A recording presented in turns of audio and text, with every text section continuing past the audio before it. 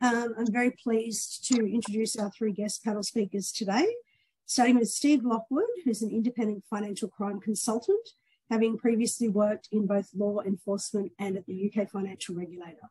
He works with clients to assess the design and operational effectiveness of their financial crime compliance programs and delivers FC program remediation projects. He has delivered projects across much of Northern Europe, Australasia, and Africa. Marcena Hunter is the thematic lead on extractives and illicit flows of the Global Initiative Against Transnational Organised Crime. Marcena has been with the Global Initiative since 2013 and during her time there has analysed a wide range of crime types in various geographies. She currently focuses on illicit activity in the extractive sector, in particular specialising in gold-related crimes, illicit financial flows, and development impacts of and responses to organised crime. She's also been a casual research fellow at the University of Queensland, Sustainable Minerals Institute, and has served as an expert advisor for various UN organisations, national governments, NGOs, and private companies. Originating from the US, Marcena holds a bachelor's degree from the University of Denver and a Juris Doctor from Washington and Lee University School of Law. Noemi Tambe is a financial crime consultant and researcher with professional experience within PSPs, RegTechs, think tanks, government, and, pri and private and retail banking. She is an associate professor at Luxembourg School of Business, an associate fellow at the Centre for Financial Crime and Security Studies, as well as a faculty member and expert trainer at the Global Compliance Institute. She provides technical, thematic support and thought leadership on anti money laundering counter finance terrorism, and counter proliferation finance. Her experience spans the UK, Luxembourg, Estonia, and Mexico, with a particular focus on financial intelligence units and private banking. She has managed high profile investigations focused on anti money laundering and delivered projects for compliance control environment, processes improvement, remediation, and reputational risks management. Welcome and thank you to all our panelists for agreeing to our discussion today. The focus on sanctions has grown globally in the last few years, where it was seen as either a bolt on or a poor relation to anti money laundering. It's now very much a standalone process subject to strict regulatory scrutiny. What makes these regulations stand out is their agile, evolving landscape, which firms need to keep abreast of.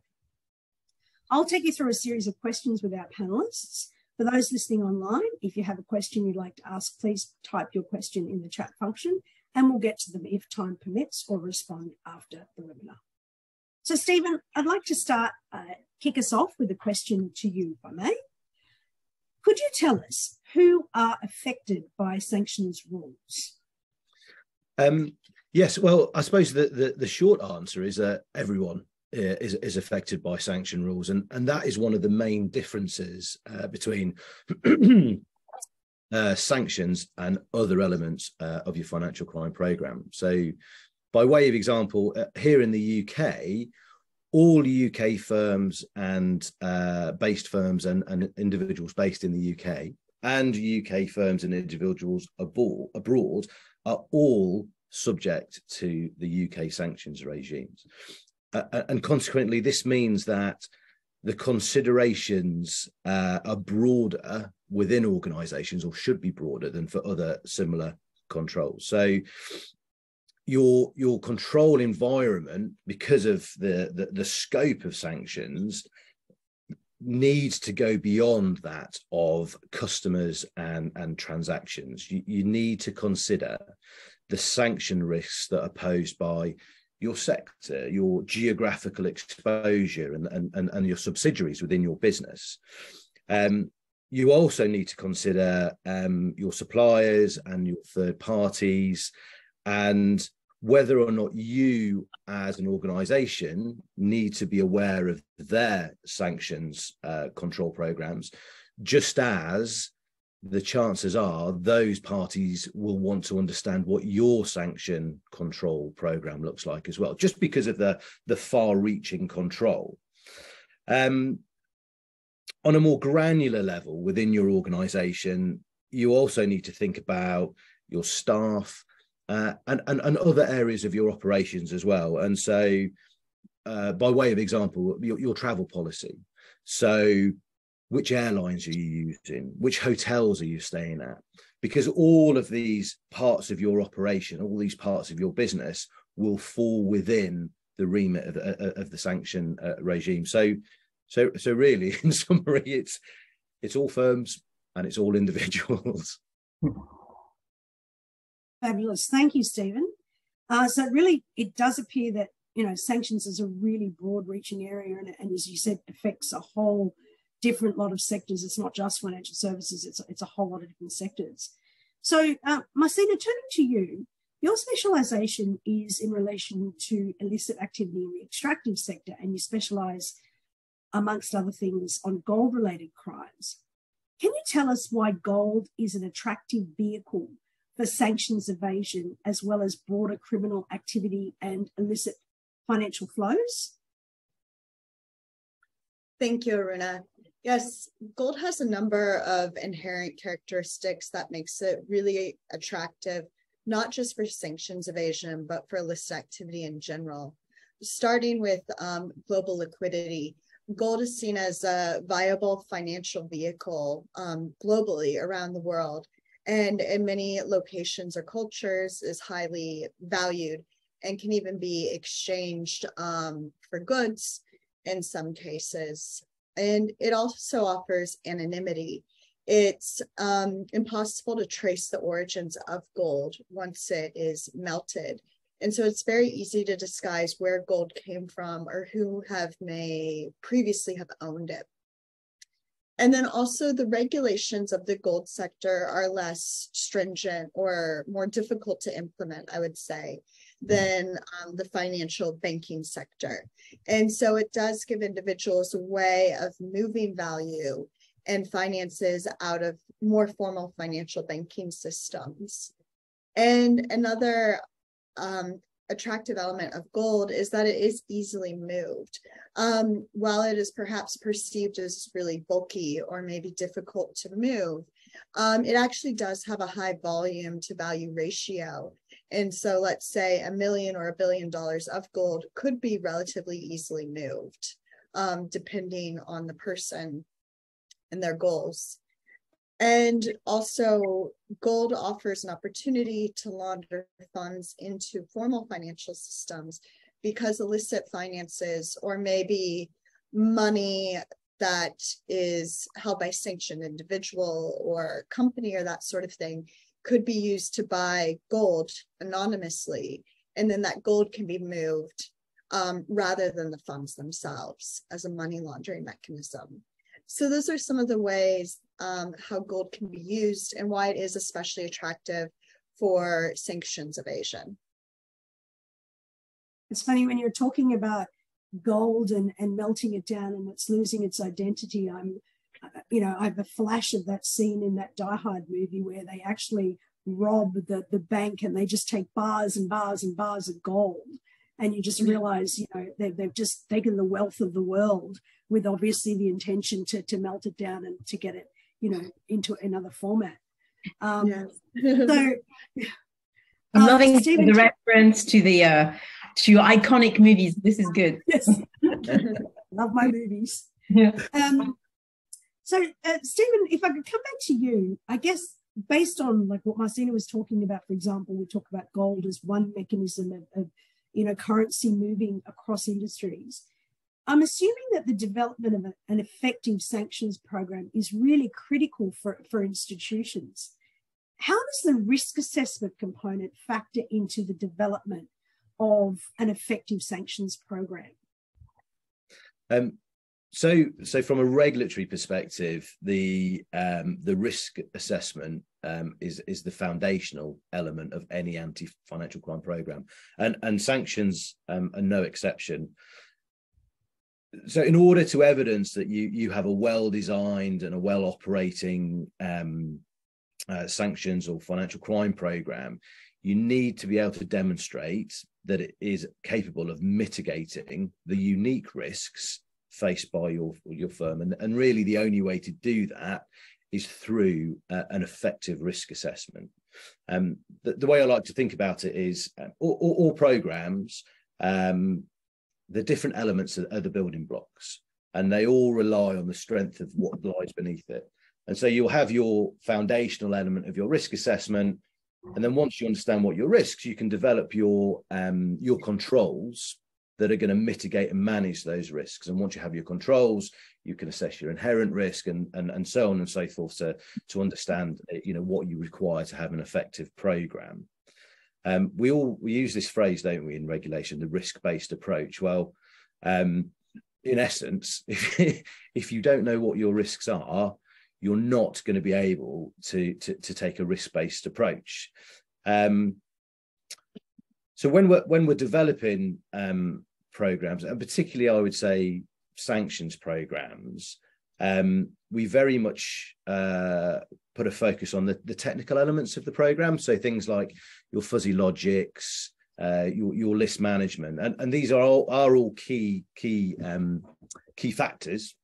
But equally as important is to step back and, and just ask ourselves if tomorrow um, there was a breach and a, and a regulator came in uh, to conduct an investigation, can we hand on heart say that we did everything we reasonably could do to to prevent that um, uh, event from taking place? Because even with the best designed sanction programs, there is still a risk that there might be a, a sanctioned event.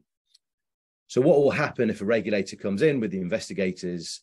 Um, the first thing they're going to ask you for is your risk assessment. And what they'll do is they'll take your risk assessment and they'll map it out to your controls, to the regulation, to uh, best practice, to what peers are saying. They'll look at global uh, sanction events that have been reported. And if that compliance um, event, if the sanction event has crystallized in a part of your business that you've not identified or, or, or, or, or missed, you need to ask yourself how are you going to demonstrate to a regulator that you've taken or you did take reasonable steps to prevent that from happening. And if you don't know what your risks are, then it's very difficult to design effective controls to mitigate them. So yeah, I would say the risk assessment is is foundation. And fundamentally, you could have a huge list of controls, but if you haven't done a robust, thorough, thoughtful risk assessment, the control mechanisms themselves are meaningless because it's it, it, you really haven't done the, the the assessment, right? I mean, risk assessment is kind of a a part of our lives every day. You step out the door and decide you're going to catch the bus or the train. You know, uh, in, is is it raining? Am I walking? Am I, you know, there's a minor risk assessment going through every part of our lives. But you know, in, when it comes to what we're talking about here, it's going to be you know really done thoroughly and robustly.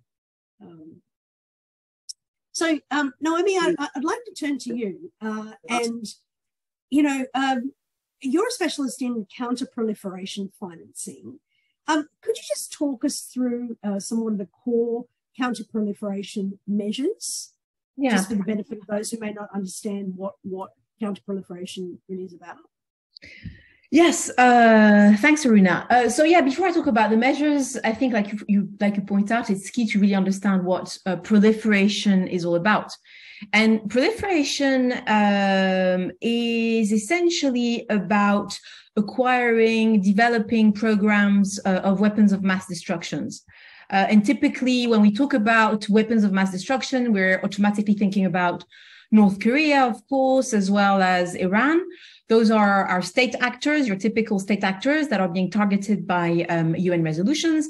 But we also talk about, um, we also uh, think about intermediaries. Uh, so um, the famous um, uh, uh proliferator uh, Abdul Qadir Khan, originating from Pakistan, is a well-known uh, proliferator who supported a number of different states in their acquisition of, of nuclear weapons.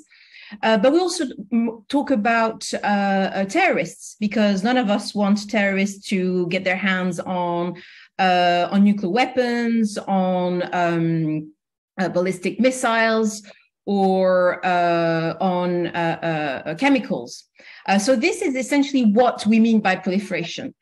Now, moving on to understand, you know, your your typical counter proliferation measures. I obviously come from a from a banking background, so obviously at the national level uh, like like stephen has pointed out you want to do your your risk assessments to what extent is your jurisdiction exposed to those kind of threats those kinds of vulnerabilities but if I go to the sort of more granular level and look at, you know, institutions, what's really key is for institutions who are most of the time, and I, I see that with a number of my different clients, under-resourced, it's absolutely key to do a risk assessment, uh, absolutely, and then to really identify the existing controls uh, uh, and, and, mechanisms and frameworks that we have within our institutions that we can leverage in order to really target uh, uh, um, the risk of uh, financing proliferation.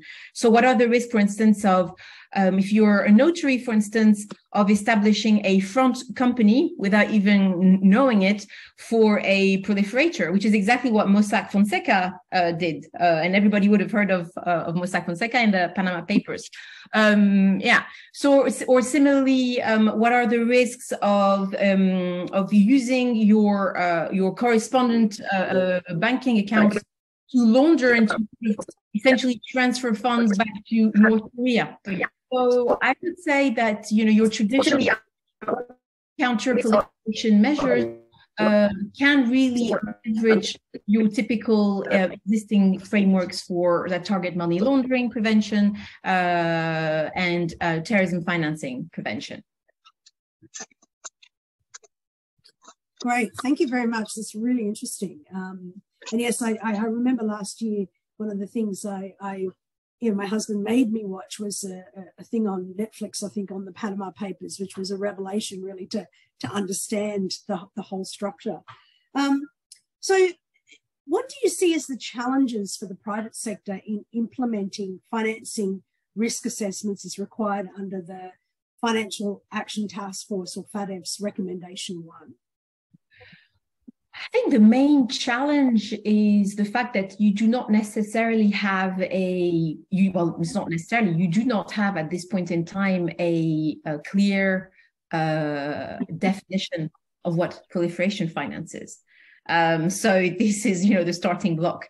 So how how do you then ensure that you have the right legislation in place that then trickles down to what needs to be done across the private sector? This would be you know a first uh, first challenge. The second challenge is that um, I often advocate for the for the private sector, coming from the private sector. I always say um, that we are increasingly that regulators are increasingly outsourcing AML, CTF, and now CPF counterproliferation finance to the private sector. But obviously, that comes with responsibilities of liability, right? And of stepping up to the mark and providing the right level of guidance and support for the private sector to do the right thing.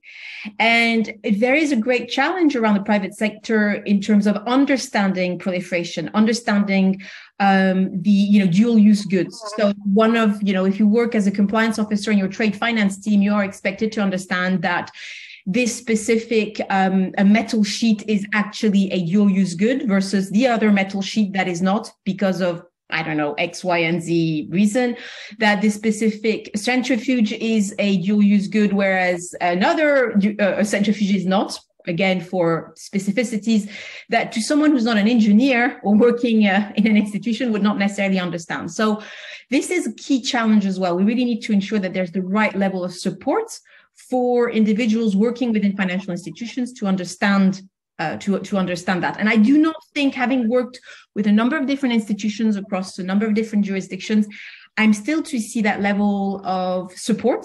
And even when you watch the, um, I think the FATF a couple of years ago, I must say with COVID, my, my, my time frame is all muddled, but I think it was a couple of years ago, the FATF organized a webinar around risk assessments. And it's very you know it's it's instructive but genuinely after an hour watching it you know as as an mlro you're walking and you go okay well what can i do practically? What genuinely practically what have i learned that and not much right? I had five bullet points of my on my a4 uh, so i think this is a key challenge having the right level of guidance uh, the right level of guidance um, and then, of course, is ensuring that jurisdictions uh, uh, perform their own national risk assessment. You are expecting private institutions to do their risk assessments, but if a number of jurisdictions have not done their own national risk assessments in relations to proliferation finance risk, then you know to what extent can you really expect the private sector to take the lead? Or maybe you do want them to take the lead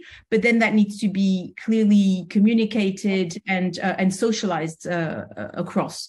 Um, and then a third challenge of course is ensuring that you are the, you have the right level as a financial institution the right level of um, involvement or relationship with relevant agencies. So of course, then this would lead us into uh, you know public-private partnerships, which of course is not this is not what today is about but you need to be able to liaise with your um, your trade department with your export import control team you need to be you know within your jurisdiction you need to be able to have the right level of conversation with um, you know uh, uh, port controls um, and and i'm not sure that jurisdictions necessarily have this this sort of those sort of partnerships in place to really support the private sector in ensuring that they that they meet um, the FATF standards.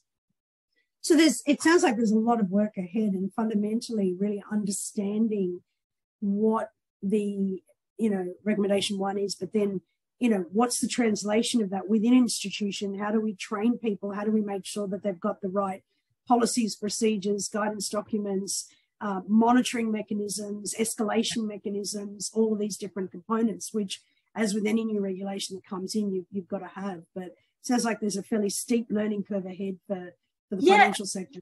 I think there is because, uh, uh, and, and very briefly, because obviously I don't want to take time away from Marcena and Stephen, but very briefly, I think what's important to to note is that we are as as uh, anti-financial crime practitioners we are whether we like it or not formatted to understand the world through the lens of money laundering prevention and terrorism financing prevention. And whilst there are a number of similarities with proliferation finance there are other you know there are a number of differences as well. And the sooner we we understand that and we are able to navigate that the better. And what's important to note is that at the end of the day proliferation finance is really about uh, or the, the, the prevention of proliferation finance is really about understanding how a regime is obtaining its finance. It's really mm-hmm. about you know understanding the nexus with Iran and North Korea, which may not sound like much, but when we've been formatted all those years around money laundering prevention, terrorism financing prevention, making that switch is not necessarily that straightforward. It's it's doable, but it's not that straightforward. Yeah, but I think the financial services industry will have to, or you know, industries in general will have to get with the program, just like they had to make the switch into what is anti-money laundering and what is, you know, managing counter uh, terrorism financing. And I remember, you know, a number of years ago, from an Australia point of view, when the government first introduced like the identification regime for, you know, uh, bank account products and stuff, we all had to learn. We all had to get through the program. We all had to make sure that we we covered it, and and the same thing will will you know apply.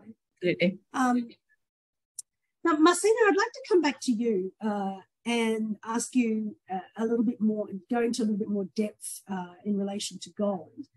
Given the focus on detection of illicit flows and the importance of having a program to detect this, how has got how can and has gold been used to actually evade sanctions? So we talked a little bit about its value and how it once it's melted down, it sort of it loses its identity, it can't be traced. But can you can you go into a little bit more detail around how it's used to evade sanctions as well?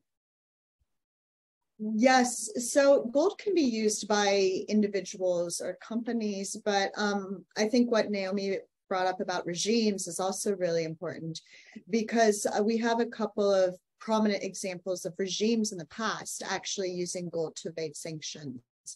Um, one of perhaps some more um, notable and relevant ones here is the Turkey and Iran gas for gold scheme, um, which took place um, predominantly in 2012. And here, Turkey purchased Iranian uh, gas in Turkish lira, which was then used um, by Iranian gold traders to buy gold in Turkey. The lira was used to buy gold in Turkey. And so that um, gold was then moved to the United Arab Emirates, UAE, um, and Iran, where then it was used to, um, the gold was sold for foreign exchange that propped up uh, Tehran's uh, foreign exchange reserves. Um, under the sanctions regime at the time, this was legal as long as the payments were not made to the government of Iran, which was um, highly likely to be happening in practice.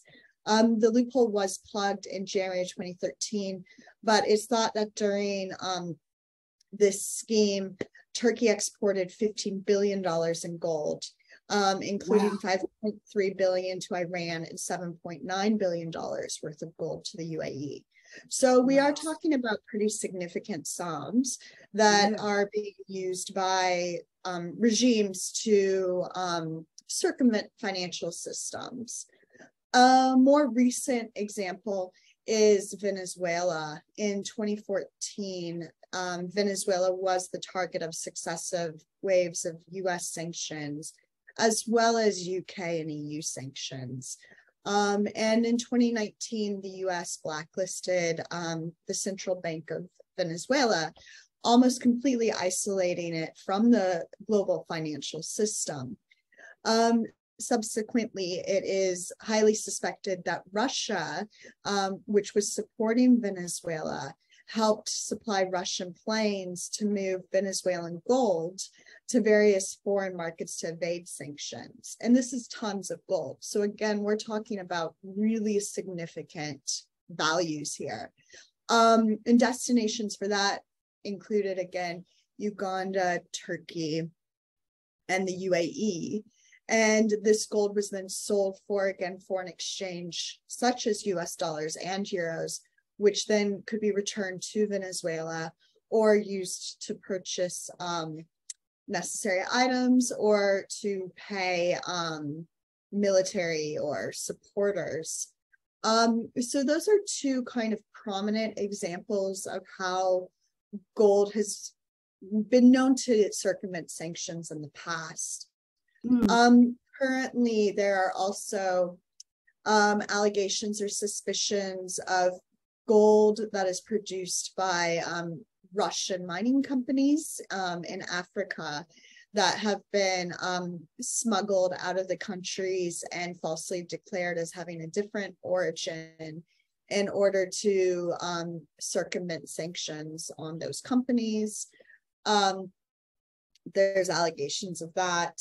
And um, recently, I don't know if you would actually say it's sanctions evasion, but there have been really recent reports that Russia is working with Iran on a gold backed digital asset um, to enable trade on fuel. And so while it's not necessarily um, legally sanctions evasion, maybe um, it is ways that gold and especially gold and crypto, um, kind of these alternative financial vehicles, are being looked at in creative ways to uh, evade um, global financial systems and banking systems and that sort of thing, and to provide um, a sort of anonymity to these mm. regimes or companies seeking to evade sanctions. Wow, those are some really big numbers that you talked about as well. So um, it's really interesting.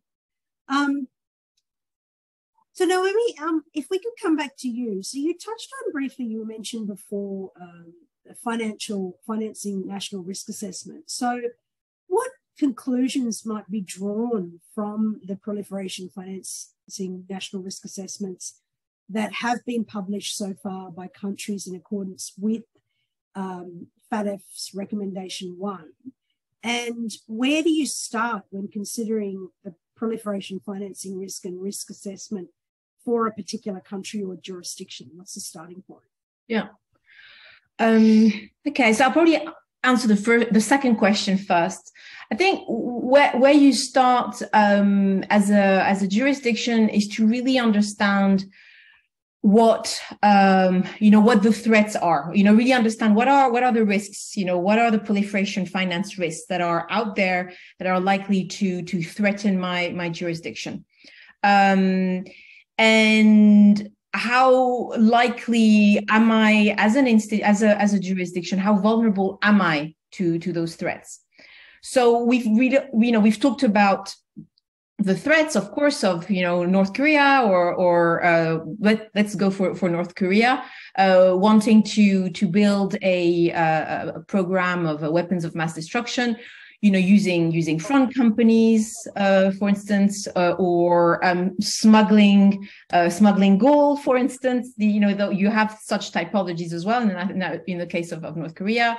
Um, and and as an institution uh, uh, oh, sorry as a jurisdiction how how vulnerable am i to that so the first thing you would uh, you would you would ask yourself is um, do i have a big financial center you know am i am i a big financial center either uh, worldwide or for my specific region um, so the UK, London, for instance, the UK is a big financial corporate uh, uh, center. Um, similarly, South Africa as well is a big uh, financial center for for its region. Um, another element as well is, you know, do I have a big industry that manufactures dual use good? Mm. Uh, that you know uh, intermediaries, uh, proliferators, uh, states will want to get uh, their hands on. So the U.S., for instance, is uh, such such an example. Um, do I have another example as well? Is do I have a big research center? Do I have the next Einsteins and Oppenheimers studying, doing research in my jurisdiction? Um, again, uh, you know, the UK, for instance, is such an example. So it's really breaking down your um, your economics really understand uh, understanding your the your financial sector your economic sector your industrial sector and really understand to what extent you are likely to be vulnerable or not to the threats of north korea or iran and you may also something as well that is key to highlight is understanding your the political elements of it the historical ties that you may or may not have with north korea you have a number of countries in the um, in in Africa, for instance, uh, notably South Africa. That's another good example that was really supported by North Korea uh, to uh, to tackle uh, apartheid or to tackle colonialism. Um, so that creates strong historical ties. Uh, do you have a do you live in a jurisdiction that has such ties because it's not so easy to to uh, remove and cut such ties um, do you have a legal framework that is weak that does not have the right level of legislation? Do you have export import controls that are weak or that are badly implemented? So those are all elements as a as a jurisdiction that you need to to uh, to be cognizant of when performing your risk assessment to really understand to what extent threats of of you know using your country are likely to materialize because of the vulnerabilities that you are that you are displaying. Um, in terms of good examples, you know, there are a number of national risk assessments that have been published around proliferation finance risk. Um, the UK has published one, Malaysia has published one, um, the US has published ones. Uh, I know that I'm missing a couple more uh, on the top of my head. Maybe I haven't had enough coffee this morning, um, so uh, my, my, apologies. But what is in, what is for me the main takeaways uh, is, and that's something that I think we always you know uh, uh, come across in our line of work as risk practitioner is the subjectivity of risk. So you know to give you a quick like little anecdote i remember doing a piece of work um, for a client that involved me talking to um, someone that was based in a, um, a, a southeast asian country which as far as i'm concerned is high risk. But when i was talking to this investment banker working in that specific country as far as they were concerned, you know, they were not. And I used to work and live in Estonia, and I remember Estonia telling me how high risk Austria was, you know, when I was talking to some of their their practitioners. And of course, a couple of years later, Danske Bank happened, and suddenly Estonia became extremely high risk uh, for laundering money of rich uh, Russian billionaires. So there's always this level of, of subjectivity when you're in it you don't necessarily appreciate and understand to what extent your jurisdiction or your or your um, uh, even institution uh, is is risky or not. And that's something that I I must say I'm very aware of when I'm reading those national risk assessments. Um, so always be cognizant of the subjectivity of risk. This is not an mm. absolute value, right? It's very much in the eye of the of the beholder. Um, but uh, in terms of uh, of the key takeaways, um, I think I really liked, to be honest, the the, the US and the UK uh, uh, national risk assessments. They have a really good grasp of okay, what are our vulnerabilities? Uh, I think the threats could have been articulated a bit better. You know, they talk about North Korea. Yeah, we, we know uh, it is a threat. Uh, Iran, yes, we know it is a threat.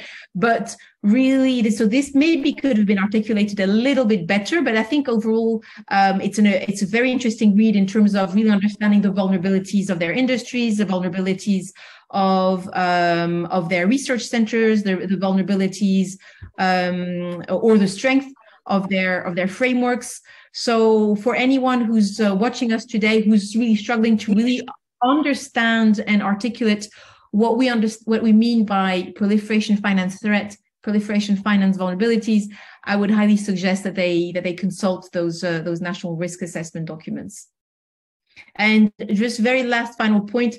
Uh, uh looking at other national risk assessments, like, such as the one for Malaysia, for instance, is key because you really see how a different uh, region is obviously facing completely different threats and has obviously completely different vulnerabilities to a jurisdiction such as the US or the UK. So it's really, really key to make sure that you consult um, different NRAs uh, across the globe and ideally leverage from the NR- from from NRAs whose countries are more or less uh, have more or less a similar profile, let's say, to your own jurisdiction. You cannot compare, let's say, uh, if, I, if I'm doing an NRA for Vietnam, I am not very likely to be able to learn much from the, uh, I don't know, the, the US uh, National Risk Assessment, which will have a completely different profile, right? And I might be completely wrong because I know nothing about mm-hmm. Vietnam.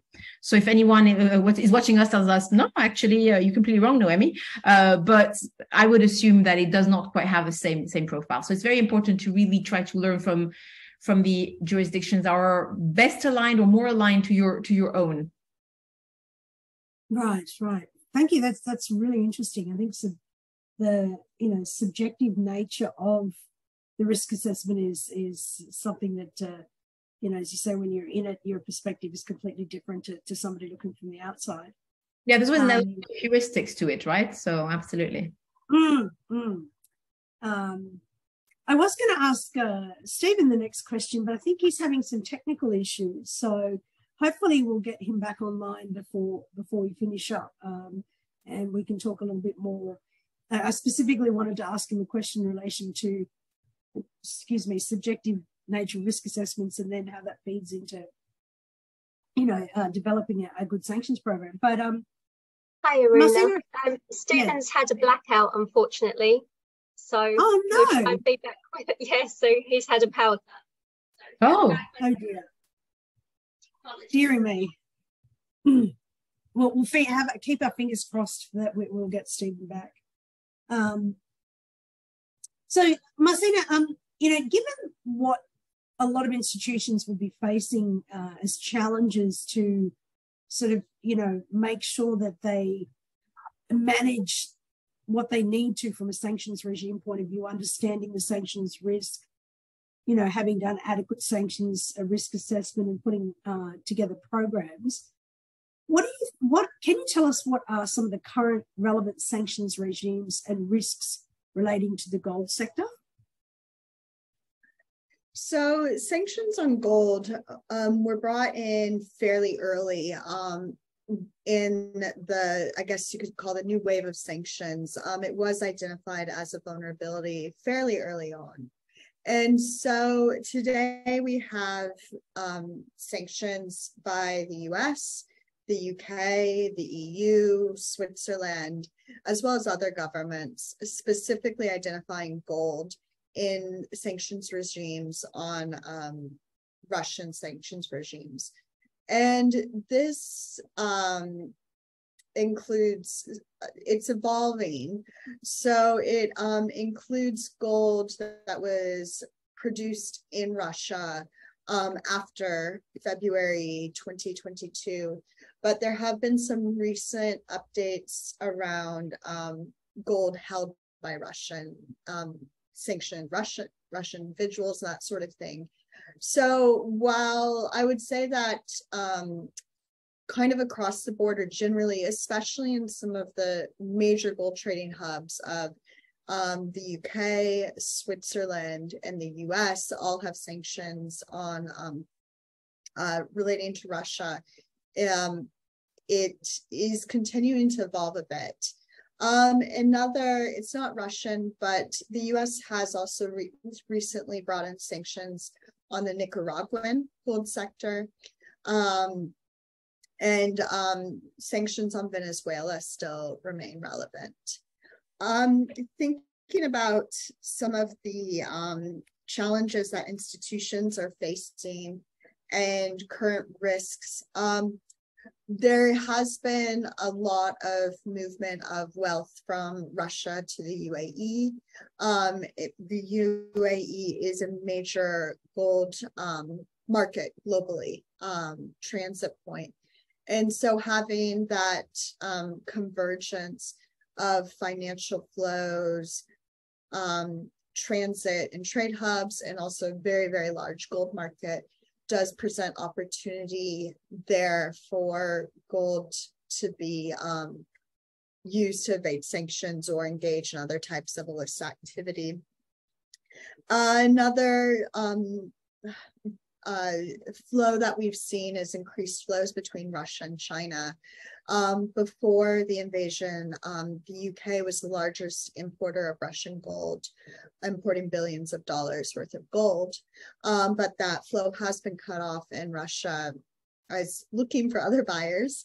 So um, we do see China being um, a destination for that. Um, not necessarily sanctions evasion, but, we are seeing countries um, try to, I think, sanctions proof their economies or become more resilient to sanctions. And so recently we've seen um, uh, historical highs or very high in central banks buying gold. Um, and so that has been a big uptake and also trying to, I think, uh, de-dollarize or protect their economies because the U.S. does um, have a particular role of influence um, due to the U.S. dollar in transactions that uh, are done in U.S. dollars, the role of secondary secondary sanctions on those transactions. And so, as governments and individuals try to shift away from the US dollar, um, gold uh, does present um, an option there. Uh, and I think just to maybe speak about a final risk is um, Russian gold producers in Africa. Um, and I think the Wagner Group has also been in headlines uh, quite frequently in their role in various African countries, including CAR, Sudan, um, there are concerns about um, Russian presence in Mali and gold there, although I think these are yet to be substantiated. But going forward, this will again be something to watch because there is pretty significant gold production um, in Sudan and some of these other countries. And so looking at how that gold and partnerships with African countries um, may be used to evade sanctions or forge new new or reinforce old political alliances. Um, and I think the role of fuel in considering the relationship between gold and fuel is important here. For example, mm-hmm. um, there's been reporting in Ghana um, speculating about um, establishing a gold for petrol scheme because with inflation and petrol prices and that sort of thing, um, it's really had a negative impact on the economy there. And so using gold to pay for petrol has been proposed as a way to address these challenges. And so as we go forward, um, really thinking, I think, about gold as a financial vehicle and how it can be used in various ways by um, regimes as well as individuals and companies to evade sanctions as well as sanction proof or protect themselves against sanctions or economic shocks.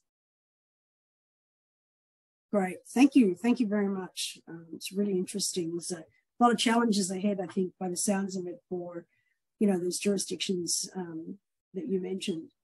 Um, Stephen, welcome back. Glad to see you. You were able to join us again. Um, so, listen, I'm, I'm going to go straight to you uh, with a question. So, we've spoken about how sanctions is a constantly and quickly evolving landscape, and Noemi touched on before the subjective nature of the risk assessment as well, which you mentioned before the importance of the thorough risk assessment, because uh, that's what a regulator is going to look at first, but then you have this subjective nature. Um, what do you see as the main challenges for an organisation in staying up to date with this constantly evolving landscape and ensuring that their program is adequate and will stand up to not only regulatory scrutiny, but actually protect the institution and its underlying customers? Okay, yeah. So, uh, for, apologies for dropping off. I had technical issues, but um, yeah. So, for, for, for all the reasons we've discussed, um, developing an adequate sanctions program is it, it, it is a challenging process.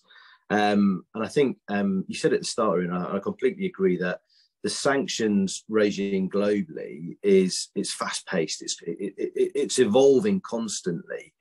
Um, so for for individual firms in their development of their sanctions program, we need to recognise that that this isn't a one size fits all control. Um, and, what I mean by that is that firms need to develop um, sanctioned programs that, that are that are reflective and, and unique to the risks that they as an organization face. So you can't rely on generic controls. You can't rely on, on the more sort of templated generic risk assessments, but more they need to be they need to be very much um, bespoke.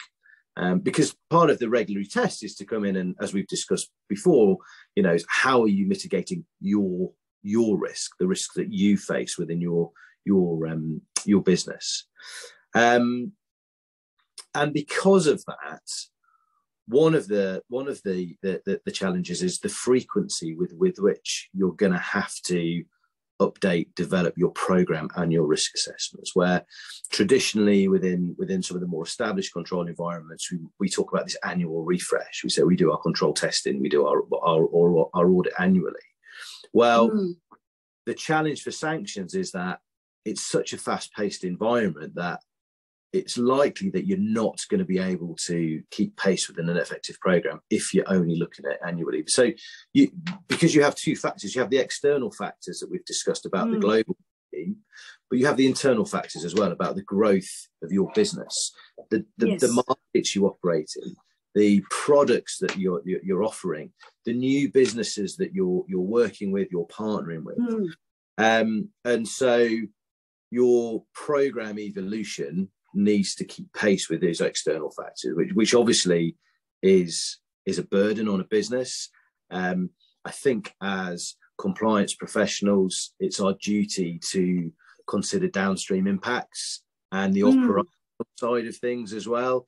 Um, too often people will, will sort of decide what the rules are and then say right we need to Im- Im- Im- implement these these new controls hmm. but it's it's being cognizant of the fact that there is finite resource there is there is finite sort of uh, budget within these operational programs it takes yes. a long time to, to update and implement an IT system you know this we Gosh, don't flick, you don't you don't flick a switch you know no, no. so it, it needs to be bespoke and so we possibly need to take a bit more of a strategic view um, yeah. and, and, and sort of update it on a more frequent basis um, in terms of the way that the the the regulators will respond if there is a breach mm. um, the challenge that that presents is it takes a long time for regulatory investigations to um, to, to to even start, and yes, even yeah. food. Um, and that's not a criticism of the regulators. It's it's just a fact that, that that's why it is. And and, yeah. and, and, and often, you know, when we're talking to a to a regulator as a as a former regulatory investigator, I would go into a firm and I would say, look, this thing, you know, it occurred two, three, four, five, even longer ago uh, and we need to find out exactly what happened. And so, mm. that creates a challenge within an organization for your record keeping um, yes. and your your the decisions that you made because you and I could have a conversation today and and, and make a make a a reasoned decision about um, how we're going to uh, you know uh, derive our risk factors um, but will we remember in five years? Or even will we be here in five years? You know we might be at different organizations we might you know whatever. And so as a business you need to make sure that you're recording the decisions. And so the most basic example is where an alert is closed. Well in five yes. years who closed it? Why was it closed? Mm-hmm. because that alert mm-hmm. then becomes uh, falls under scrutiny you need to make sure as an organization that you know why you did it. And and mm. again, it comes down to that operation operational uh, side of it. Um, it creates an additional burden of on on on time uh, and and record keeping. But mm. but it's essential that we do this because it's critical. Mm. Absolutely, you know, if the regulator mm. asks you why you did it, and the answer is yeah. we can't remember, are you great in a defendable position? You're you're not, and and and actually, it's not it's not it's not um it's not uncommon, but we just need to be cognizant that our our, our decision making needs to be um, needs to be recorded. And I think I think the last two really is the challenge with the firm is is, is training and, and and actually more more specifically buy-in as well. Um, mm it, sanctions is not a compliance department issue. It is a business wide issue. Um, in many jurisdictions, it carries a personal criminal liability. Um, and yes. so we, we need to be cognizant of, of the risk and, and, and the controls. Uh, and so you, you need to make sure that the people within your organization understand the risks and the obligations as well. Um, and, and, and to be candid, you know, in terms of a control environment, if you can get the people within the organizations on board, you know, they understand sanctions, they've bought into the control environment, essentially you're actually creating a whole new um, line of defense. You know, it's your entire organization. Uh, and that in itself is an enhanced risk control for your organization. Um, and I would say, say lastly, um, um, one of the um, big challenges within organizations now is is the outsourcing of controls. And by outsourcing yeah. it within your group it could be to a third party it could be the purchase of a, of a tool that you plug into your own systems. Um, and that's great because you know you're going to you're, you're going to the experts in the field that can, can apply them. But your obligation is you have to understand how it works how is it calibrated? Why is it calibrated in such a manner? And how is that mitigating your risk? Because you, you can outsource the control, but ultimately what you're what you can't outsource is is the ownership and the liability. And so, yeah, even when you yeah, no, absolutely. And so it's your responsibility to make sure you're understanding why that is enhancing your your control environment. So overall, it's it's it's actually a cultural uh, issue as well, isn't it? From a mindset point of view, for sanctions might not be sexy as bringing in a big billion dollar deal that brings you know a whole heap of money for the organization, but unless that cultural identity or cultural understanding is there, the importance of managing those risks and having appropriate controls to protect the organization and the individuals who work for the organization all the deals you do in the world doesn't matter because it, it's all just going to end up for naught when when the regulator comes in and says, you know, how did you not screen this person? How did you not, you know, uh, do the right thing? So, well, I'm just um, thank you. That that's really interesting, and, and uh, I'm just conscious of time. We just got five minutes before we wrap up. Um, just uh, Naomi, just coming back to you. Just uh, uh, we talked quite a bit about the importance of the the national risk assessments and and the ones that were really good. But um, for just as a follow-on question from that, for any institution that is about to commence their institutional risk assessment, so if they haven't actually done it, um, you know, what what, what uh, tips might be helpful? Just briefly, you, you know, uh, following on from your earlier comments. Uh, so I think the first starting point is if your jurisdiction has done a national risk assessment uh, relating to proliferation finance risk, consult it. Um, if your jurisdiction has not yet done one, then consult the National Risk Assessment for Money Laundering and Terrorism Financing. Um, essentially, uh, a proliferation finance um, is a financial crime, right? It's it's it's complex mm. because sanctions evasion, it's it's financial crime. Uh, it, it's a, a, complex financial crime, but it is one nonetheless.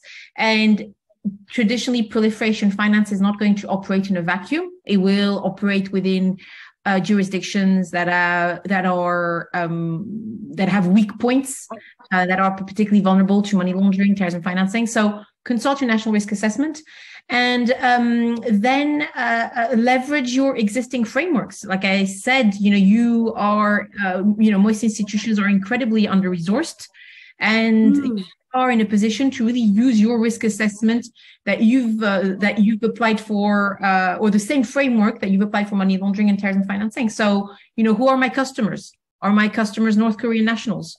Are my uh, customers uh, individuals who mainly have dual uh, uh citizenship, uh, China and North Korean. This should be obviously a, a red flag.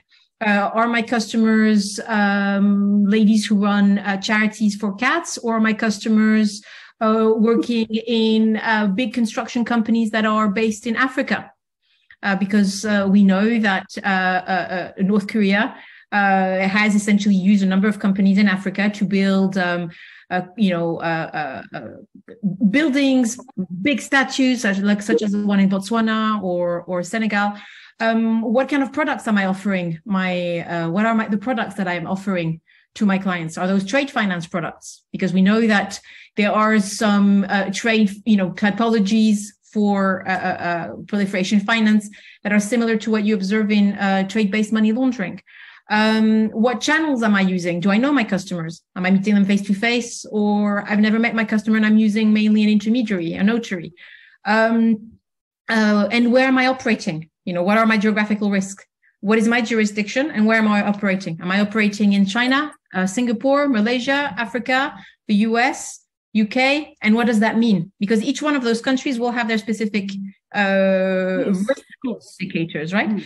And this would be your the starting point. Um, obviously, I mean, I, we could have a whole hour uh, again to go specifically. You know, Stephen and I, I'm sure would be delighted to talk for a whole hour about risk assessment. Uh, um, but you know, very neatly in in three four minutes, this is um, this is what I would say would be a good starting point.